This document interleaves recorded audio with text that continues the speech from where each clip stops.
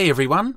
So today I really wanted to talk about the incident that happened with Alexandria Ocasio-Cortez. So if you don't know, she was at a um, town hall and a pro-Trump woman started speaking. There was a video that went viral and it, it kind of turns out that um, a pro-Trump fringe group took credit for this. But we're not going to be here for much long because of the climate crisis. We only have a few months left. I love that you support the Green Deal, but it's not getting, you know, getting rid of fossil fuel. It's not going to solve the problem fast enough. Uh, the problem is, ordinary people, right? They can change their lifestyles. Okay, they can reduce their energy usage. They can, you know, buy local food. They can plant trees. They can do things which will help. But we're I kind of feel like so many people are presented with this um, overwhelming information. The world is coming to an end, and people, what are they meant to do with that information? You know, um, it's not awfully useful just to say the world is coming to an end in eight years' time. Don't bother having kids. Don't bother, you know, living your life. You know, you might as well just what drop out of society and just um what consume a lot of alcohol or drugs or whatever it is. I mean, this isn't a really good message to be giving people all the time, and a Swedish professor saying you know, we can eat dead people, but that's not fast enough. So I think your next uh, campaign slogan has to be this: We got to start eating babies. We don't have enough time. There's too much CO2. All of you, you're you you know you're pollutant. Too much CO2. We have to start now, please. You are so great. I'm so happy that you're really supporting the Green Deal, but it's not enough. You know, even if we would bomb Russia, we still have too many people, too much pollution. Thank you. So I think, um,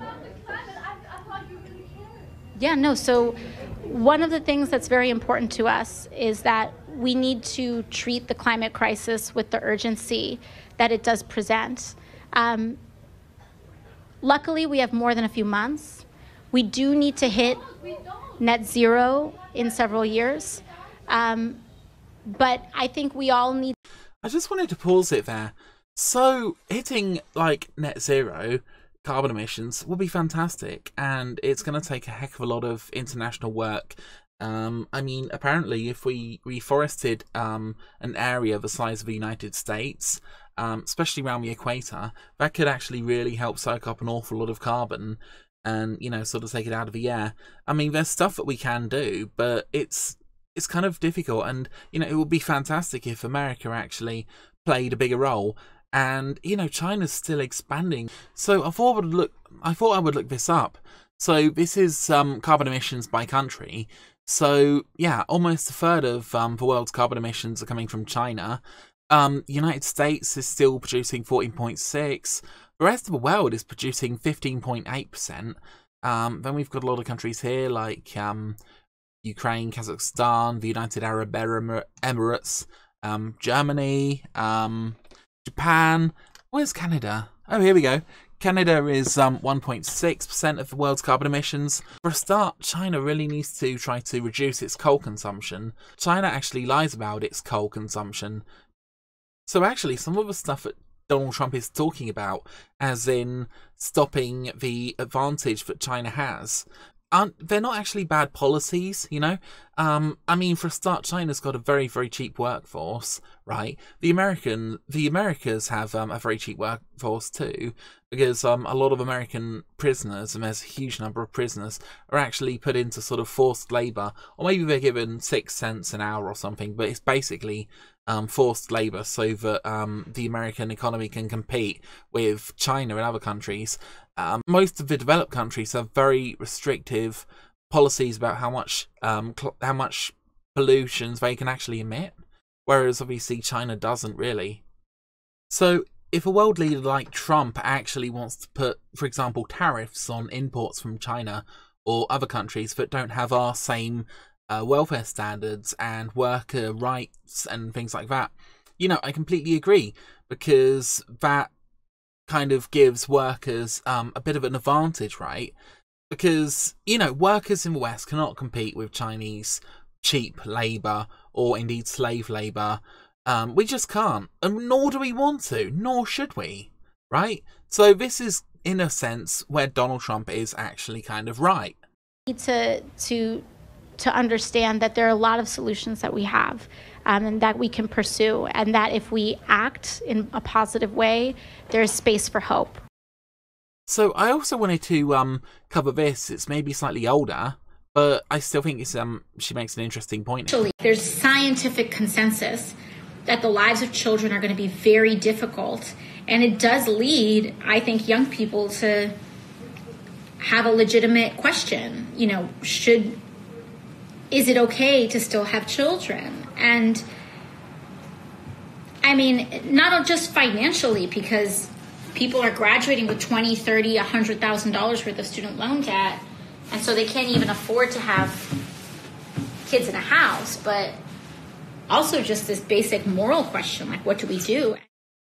Okay, so there's a few interesting points there that she actually brings up.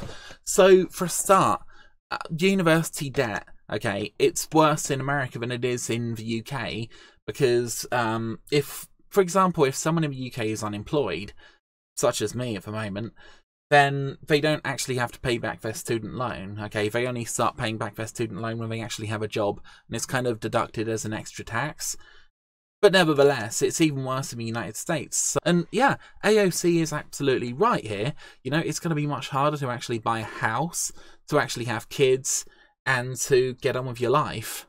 So the we should eat babies part of this, it does kind of come from a Swedish professor called Magnus Soderlund. Apologies if I got that wrong. Perhaps this was in jest, I don't know, but he did suggest of help with climate change. Perhaps we're going to be forced to eat people in the future. So interestingly, 8% of the audience in Sweden said that they might be open to eating human flesh. So I wanted to come briefly onto the polarization of American politics.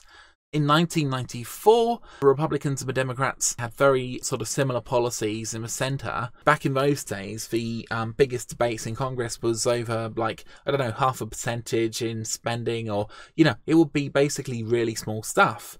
But as you can kind of see, now we've got to 2014, and I bet it's got even further apart now than it was then. And also, people have kind of become like more extreme, um, you know, just judging by this. So it sort of seems like Democrats will move to Democrat states, Republicans will stay in or move to um, Republican states, and there seems to be a lot of um, social ostracism between the two groups, and it seems to be a growing problem. So, you know, that's kind of worrying in a sense. And this article also says that people who are more involved with politics tend to be even more polarized.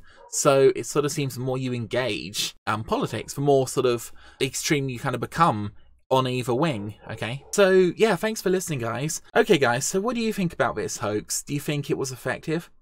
Now, I think the interesting thing about this hoax, more than anything, was the fact that it was so believable, you know? Um, I mean, looking at it now, it's kind of fairly obvious when she mentions bombing Russia and, you know, this sort of thing that perhaps this was a troll, but or perhaps a sort of political protest to kind of make the left look a bit foolish, really. It's kind of sad that we all kind of leapt on this and we all kind of thought, well, you know, um, that's not out of the ordinary. You know, this is just normal sort of politics. You know, the fact that eating babies is now considered almost normal because, you know, the sort of extremes of politics are so far apart. But it's sad. And imagine if the two poles of sort of American opinion sort of keep getting wider and wider apart. You know, you I mean, there's talk about civil war and things, but there could seriously be, seriously be some kind of civil war in the future.